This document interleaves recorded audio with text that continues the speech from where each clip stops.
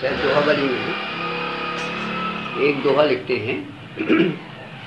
कोई कहे सत्य, अब कोई कहे झूठ। जुगल प्रबल कर माने, जो हमें आपको दिखाई दे रहा है मतलब जो हमें दिखाई दे रहा है, इसको इसको तो कोई झूठ कह रहा है। जैसे भगवान शंकर कहते हैं, उमा कहूँ मैं अनुभव अपना, और सत्य हरि भजन जगत सब। तो इसको तो कोई झूठ कह रहा है, सपना कह रहा है। अब कोई इसको सत्य कह रहा है। दिखा, हम आप सब सत्य कह रहे हैं, और भगवान शंकर इसको सपना कह रहे हैं। और कोई इसको कहता है, भैया, ये न सत्य है, न झूठ है। या यूँ कह लीजिए कि सत्य भी है और झूठ भी है। तीन तरह के लोग हैं। एक लोग इसको सत्य मान रहे हैं, जैसे हम आप। और जो साधक हैं, जो भक्त हैं, वो इसको झूठ मान रहे हैं। और तीसरे ऐसे भी हैं कि भैया सत्य भी है और झूठा भी है। क्यों?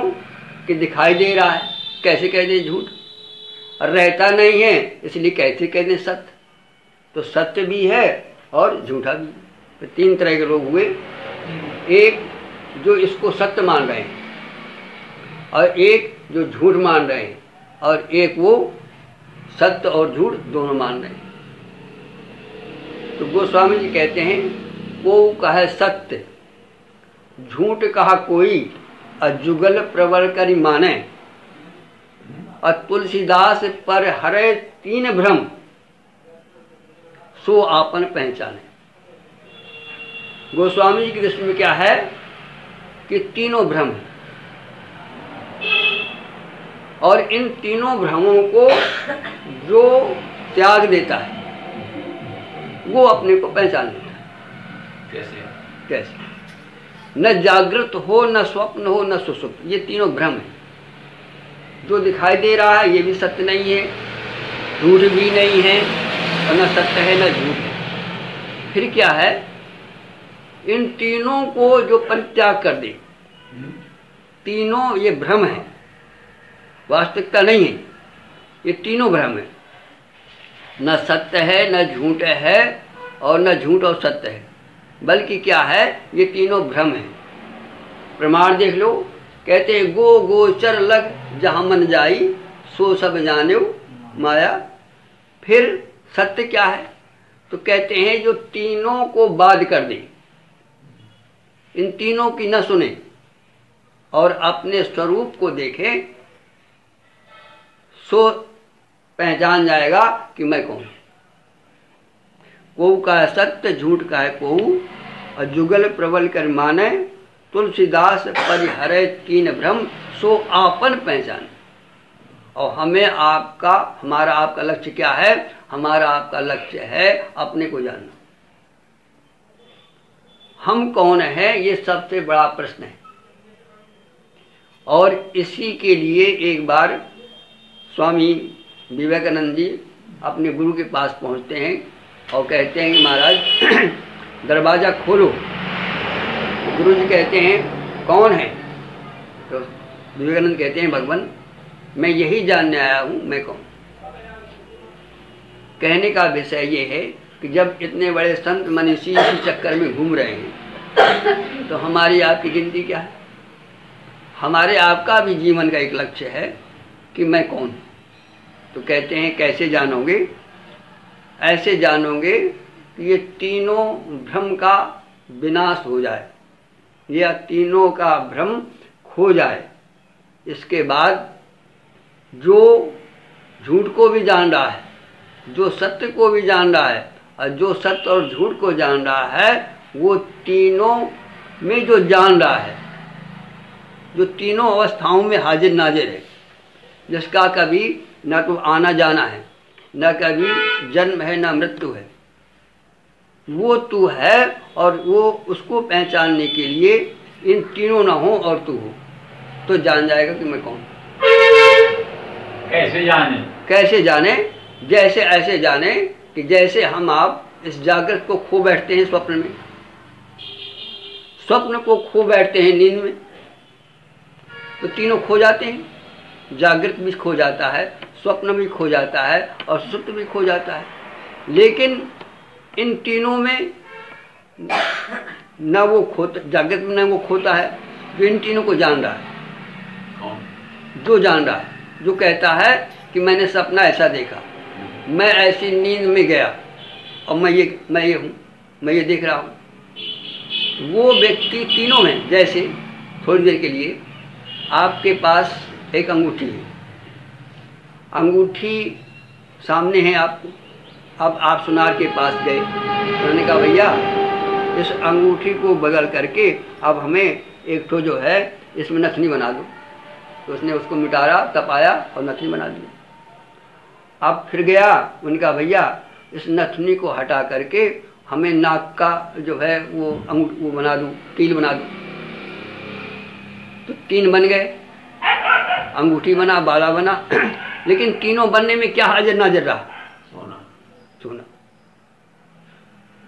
इसी तरह से इस तीनों में जो हमारा जागृत सब बनता रहता है, कभी जागृत बना, परमात्मा ने कभी जागृत बना दिया, फिर परमात्मा ने स्वप्न बना दिया, फिर सुसुप्त बना दिया, और तीनों ये आते जाते रहते हैं।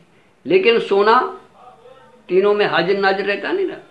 तो जो हाजिर नाजिर रहता है, वही तो बताएगा कि भैया मैं मैं पहले अंगूठी था, फिर मैं जो है बाला बना, फिर मैं कीर बना। तो जो कौन, जो कह रहा है वो कौन है? उसके अंदर कौन छपा है जो कह रहा है, जो तीनों वस्तु को जान रहा है? वो है सोना। क्योंकि सोना अंगूठी बना था, तब भी सोना था हाजिर था। जब बारह बना, तब भी वो सोना हाजिर था। और जब कीर बना, तब भी सोना हाजिर था।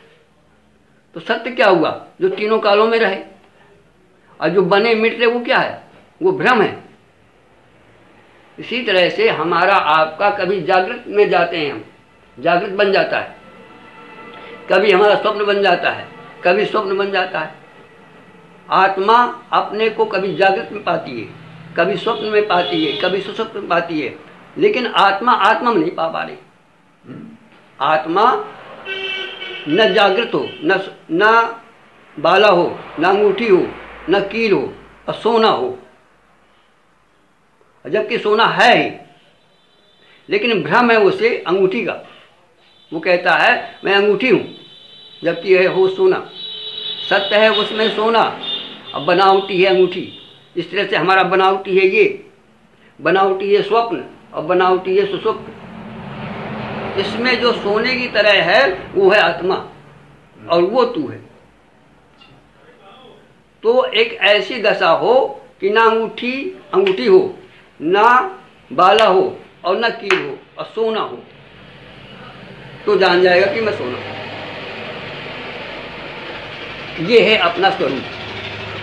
कैसे जाने? इसी तरह से जाने कि जहाँ हमारा जागृत को हम विदा कर देते हैं स्वप्न की याद से। स्वप्न को व्यतीत करते हैं विदा कर देते हैं गहरी नींद में। तो एक ऐसी अवस्था भी आए कि तीनों न हो और तुम हो। न जागृत हो न स्वप्न हो न सुसुप्त हो। कैसे आए? वो ऐसे आए बस उसको जहाँ आप सो जाते हो तो वहाँ सोना नहीं है। जागृत चला गया स्वप्न चला गया सुसुप्त चला गया। और सुसुप्त में क्या होता है कि हम सो जाते हैं। ना हमें ये पता रहता है कहाँ है? कहाँ तो बस उसका जागरण हो ये तीनों ना हो। वो है अवस्था समाधि की।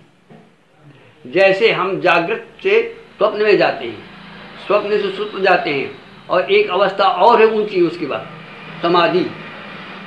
समाधि में क्या होता है कि समाधि में पेवर सोना रहता है। न वहाँ बाला है, न वहाँ अंगूठी है और न वहाँ कील है। सोना ही सोना। ऐसा होता है कि नहीं होता? सोना में। एक ऐसी अवस्था भी आती है। सोना। लेकिन सोना जब होता है तो उसको होश नहीं रहता। जब वो जागता है तो अपने को अंगूठी पाता है। बस, भ्रम ये। जब सोने की स्थिति आती है तब हम आप वहाँ होश नहीं रहता। हमें और होश रहे, चेतना रहे, तब आप समझेंगे कि वो सोने में कितनी ताकत है, कितना विराट है। अच्छा वो सोना जो है, वो सब सोनों में सोना है कि नहीं सोना? कितना विराट होगा सोना? और अंगूठी कितनी है? और सोना कितना है? घड़ा में जो मिट्टी है, वो व्यापक है, हर घड़े में मिट्टी है। और घड़ा सिर्फ़ घड़ा भर है और घड़ा में चल जाए, मिट्टी का बोध हो जाए तो मिट्टी सब पूरे कितनी बड़ी ताकत है ये लाइट जल रही है। इसके पीछे बिजली है कि नहीं? और बिजली व्यापक है, सब घरों में है नहीं? ऐसे हमारे पीछे जो सोना रूपी आत्मा है, सोना रूपी परमात्मा है, वो विराट है। तो हमें करना क्या है? हमें भजन के माध्यम से जिस बिंदु पर हम सो जाते हैं, सब कुछ खो जाता है, लेकिन हम भी खो जाते हैं, बस दुर्भाग्य ये। हम ना खोएँ, चेत अच्छा देखो, दूसरी बात ये आप देखो कि चेतना कभी नहीं खोती। क्यों? यदि खो गई होती तो कैसे आप बताते गहरी नींद में हम चले गए? आज बहुत अच्छी नींद आई। इसका मतलब है कि आप वहाँ जाग रहे थे। स्वप्न में आया तो आपने कैसे बताया कि अभी स्वप्न ऐसा देखा हमने? इसका मतलब आप स्वप्न में जाग रहे थे। आप कभी सोते ही नहीं। यदि सो नहीं सोती। है? आत्मा नहीं सोती। आत्मा नहीं सोती। अब हम आत्मा है। बने हैं जागृत बना है स्वप्न बना है सुसुप्त। जैसे रजत सी माँ भाजिम यथा भान कर बार हृदय में खा क्यों काल में अब भ्रम न सके को उतार। मतलब सीपी में चांदनी चा, चांदी दिखाई दे रही है। सीपी को सीपी नहीं दिखाई दे रही सीपी को क्या दिखाई दे रही है? चांदी। हमें तुम्हें ये दिखाई दे रहा है जबकि वास्तविकता क्या है? वास्तविकता है इसमें आत्मा। लेकिन आत्मा नहीं दिखाई रही आत्मा में जो बन रहा है वो दिखाई दे रहा है। वास्तविकता है बालू लेकिन दिखा अपने को देख रही है पानी। हम अपने को देह देख रहे हैं। हम अपने को आत्मा नहीं देख रहे। जब तुम आत्मा हो, असली है आत्मा और नकली है ये बना हुआ है। जैसे सूर्य का प्रतिबिंब बना तो तो जिससे प्रतिबिंब बना, असली वो है और जो बना है वो नकली है। लेकिन प्रतिबिंब अपने को सूर्य मान रहा है, बस ये दुखड़ा बात है। वह अपने को मैं मान रहा है। वो जबकि वो मैं नहीं है वो बना हुआ है। मैं तो उसका वो है। तो कहने का भाव हमारा ये है कि हमें आपको जीवन में आत्मा का बोध करना तो स्वामी जी कहते हैं को कहा सत्य झूठ कहा को जुगल प्रबल कर माने और तुलसीदास पर हरे तीन भ्रम, सो आपन पहचाने। जो व्यक्ति इन तीनों भ्रमों का निवारण कर देगा, जैसे मान लीजिए कि लकड़ी रस्सी पड़ी है और सांप का भ्रम हो रहा है तो क्या है? लकड़ी अपने को सांप देख रही है। ऐसे ही ये आत्मा अपने को देह देख रहा है, अपने को स्त्री देख रहा है, अपने को लड़का देख रहा है, अपने को पुरुष देख रहा है और अपने को सुख दुख देख रहा है, जबकि उसमें कुछ नहीं तो कहने का विषय हमारा ये है कि हम उस आत्मा की गहराई में इनको बाध करते हुए अच्छा और देखो तारीफ़ की बात तो ये है कि तारीफ़ की बात ये है कि रोज़ाना मिटरते हैं। रोज़ाना क्रिया होती है, लेकिन हमारे बेहोशी में होती है। जैसे मान लीजिए यहाँ भगवान बैठे हैं, और कोई दरवाजे में आया, अब आपने इंजेक्शन लगा दिया सोने का, अब वही दरवाजे में गिर गया वो। अब उसको यहाँ आप ले आओ। खूब सत्संग हो रहा है। अच्छा और इसके बाद जो है, उसको वहाँ ले जाओ। जगा दो उसके बाद। उसे पूछो, भैया, तुमने क्या क्या दिया? कुछ नहीं। जबकि यहाँ से गया है, लेकिन होश में नहीं गया, बेहोश हो गया। ऐसे हम जहाँ जाते हैं, सोने में जाते हैं। हम आप आत्मा में जाते हैं। हम आप उस परमात्मा में लीन होते हैं। लेकिन वहाँ जाते, ऐसे जाते हैं कि वहाँ सो जाते हैं। और एक बार चेतना बनी रहे। जागृत बना रहे। चेतना का भान रहे और ये सब न हो तब आप अपने को विराट समझो। वो विधि बता दीजिए। हाँ वो विधि बस बस यही है। एक ही रास्ता है कि बारी मथे घृत हो। सिकता ते बर्व तेल अब बिन हरि भजन न भव तरई ये सिद्धांत अपे। अर्थात भगवान के भजन में भगवान के चिंतन में डूबते चले जाओ लेकिन होश न खोने पाए। जैसे भजन करते हैं कोशिश करते हैं लेकिन वहाँ तक क्यों नहीं नहीं इसलिए नहीं इसलिए कि वहाँ तक जैसे पहुँचना चाहिए वैसे आप नहीं पहुँच पा रहे। विधि है उसकी। तो- हाँ क्या है? विधि ऐसा है गोस्वामी लिखते हैं कर मुख ते बहु तक जप अथवा नाम जी ही जप जान ही योगी परमारथी प्रपंच योगी ब्रह्म सुखई अनुभवई अनूपा, अकथ अनामय नाम न रूपा वैसा है। लेकिन जाना चाहें, पहली बात तो हम चाहें, तब रास्ता है, और चाहे ही नहीं तो क्या है? जाना चाहें गूढ़गत जेऊ क्या करे? नाम जी है जप जान तेऊ जी जी का मतलब क्या है? जी का मतलब है चेतना से आत्मा से। और हम आप कैसे बचते हैं हम आप माला से जप रहे हैं हम आप मुख से जप रहे हैं।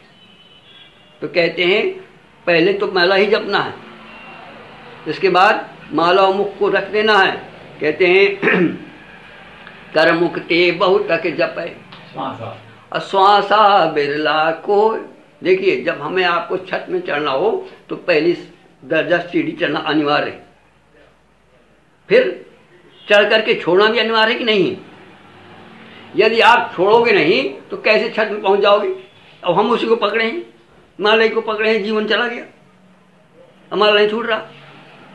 और चढ़ना चाहते हैं आकाश में। तो कहते हैं, छत में चढ़ना चाहते हैं तो अरे प्यारे, पहली सीढ़ी चढ़ चुका, आप छोड़ो उसको। तो पहली सीढ़ी क्या है? कर मुख ये पहली सीढ़ी है। कर से और मुख से। फिर, और ये सब जपते हैं कर मुख ते बहु तक जपें।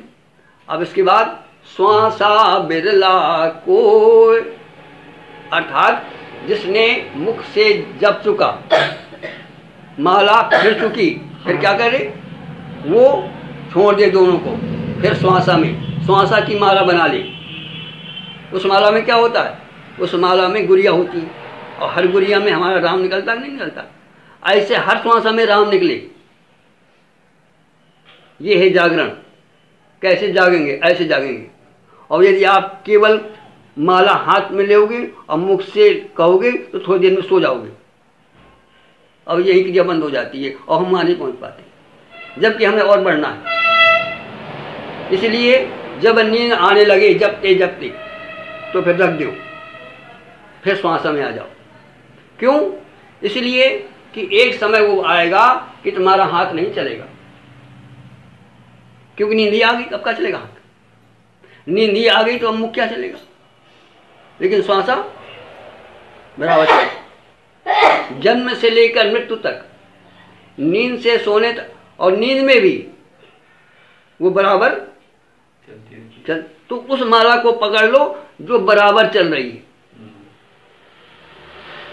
तो फिर क्या करो हर श्वासा में पहले तो पहले आप उसका बात ना करिए पहले तो माला जपिए मुख से कहिए और जब उससे आप शिथिल हो जाएँ रखने का मन हो जाए नींद आने लगे भैया निकल रख लो अब श्वासा में आ जाओ है फिर श्वासा में आप निरंतर राम राम राम जैसे श्वास आए राम राम राम राम राम राम राम राम राम राम राम राम राम राम राम श्वास के साथ जुड़ जाओ जैसे हर गुड़िया के साथ जुड़ते हो आप। हर जवान के साथ राम राम निकलता है। हर गुड़िया के साथ राम राम निकलता है। ऐसे हर श्वास में राम राम आने लगे। तो क्या है? अब जब श्वासा में आ जाओगे तो आप कहाँ पहुंचोगे? पता है आपको? श्वासा कहाँ से आती है? लहर कहाँ से आ रही है? है रास्ता कि नहीं जाने का? जहाँ से आ रही है वहीं तो जा भी रही है। तो श्वासा आ भी रही है, श्वासा जा भी रही है। तो वहीं से तो अब श्वासा में यदि आ गए तो अब कहाँ जाओगे आप? अब पहुँचोगे कि वहाँ ना पहुँचोगे? और हाथ से और मुख से पहुँचोगे तो सो जाओगे। और श्वासा से जाओ, पहुँचोगे तो जागते हुए चले जाओगे। वो रास्ता है जाने का। जैसे नदी में पुल बना हो, आराम से नदी में तैरना मुश्किल है। और यदि पुल बना हो तो तो ये जो श्वासा है ये हमारा पुल है। एक तरफ़ देह है और एक तरफ़ आत्मा है। और बीच में ये श्वासा चल रही है। और श्वासा टूटी तो पुल टूटा। तो इस इस श्वासा रूपी पुल में बैठ जाओ। सहारा ले लो इसको। तो तुम अपने आप को वहाँ तक धीरे धीरे धीरे धीरे धीरे। और यदि पुल बना हो, यहाँ से वहाँ तक जाना हो तो साधारण बंदर, साधारण बांदर भी, साधारण चीटी भी यहाँ से वहाँ पहुँच जाएगी। कितना भी कैसा भी व्यक्ति हो और श्वासा का सहारा पकड़ ले तो वहाँ तक पहुँच जाएगा। तो फिर क्या है? कि कर मुक्ति बहुत तक जपे श्वासा बिरला को। इसके बाद श्वासा तज, जब उससे भी आप उग जाए। फिर, क्योंकि आप निरंतर नहीं कर सकते। न हाथ से निरंतर कर सकते हैं, न मुख से निरंतर कर सकते हैं, और न श्वासा से निरंतर कर सकते हैं। एक समय सीमा है। हाँ? निरंतर ऐसे हो निरंतर ऐसे हो कि बस श्वासा की भी छोड़ दो। कर मुक्ति बहुत तक जपे श्वासा बिरला कोय श्वासा तज नैनन जपे। नैनन जपे। नैनन का मतलब है कि उसको देखो। किसको? बस देखो। दिखाई देता। है? देखने का मतलब है कि जागते रहो। जो कुछ होता है सो नहीं जो कुछ होता है उसको देखो। कैसे? कैसे? जैसे बैठे आप देख रहे हैं हमें।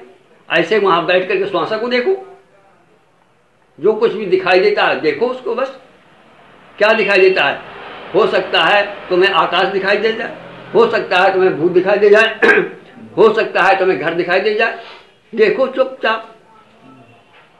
कर के बहुत जपे श्वासा बिरला को और श्वासा तज नैनन जपे।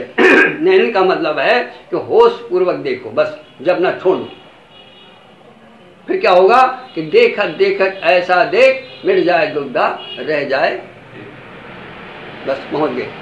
देखने का मतलब है कि आप छत पर पहुँच गए। देखने का मतलब अच्छा देखना आपका कभी बंद नहीं होता, ध्यान देना। ये देखना बंद हो जाता तो सपना कैसे देखते आप? देखना बंद हो जाता तो नींद को कैसे देखते आप? देखना आपका स्वाभाविक गुण है। आत्मा का स्वाभाविक गुण है देखना, और जो देखना है, वही परमात्मा का स्वरूप वही आत्मा का स्वरूप और उसी को हम बिसर जाते हैं। तो हमें चेतना को जगाना है, होश को जगाना है। और जबकि वास्तविकता यह है कि होश बराबर जागता ही रहता है। तो हमें करना क्या है कि कर मुक्ति बहुतक जपे श्वासा बिरला को श्वासा तज नैनन जपे, सो सिद्ध साधक वो सिद्ध हो जाएगा। जिसने देखना शुरू कर दिया, बस बैठे रहो, देखते रहो, जो कुछ होता है होने दो। बस। क्योंकि जो देखा जाएगा, वो एक दिन, एक समय सत्य आ जाएगा। जैसे आपने लकड़ी को सांप देखा।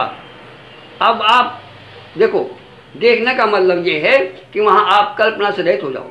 कुछ सोचो नहीं जो कुछ होता है होने दो। ये मत सोचो कुछ भी सोचना। बनी रहो। बस साक्षी बन जाओ जैसे हमारे आपके यहाँ सत्संग हो रहा है और ये बेटी आकर चुप बैठ जाए और यहाँ को सब देखती रहे नज़ारा।